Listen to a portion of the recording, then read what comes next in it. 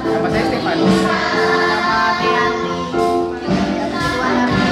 Ibadah tempat ini buat ministry untuk bisa melayani tempat ini luar biasa dan sangat diberkati karena hari ini ada pemulihan yang terjadi di gereja kami dan banyak jemaat-jemaat yang dipulih.